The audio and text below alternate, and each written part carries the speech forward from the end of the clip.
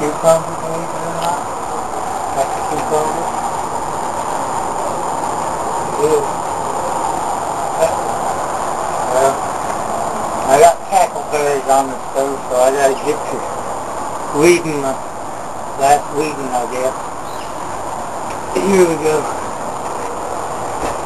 You? You're gonna have to move. All right, man. Whole lot of use this thing on this. All right, man. You wait.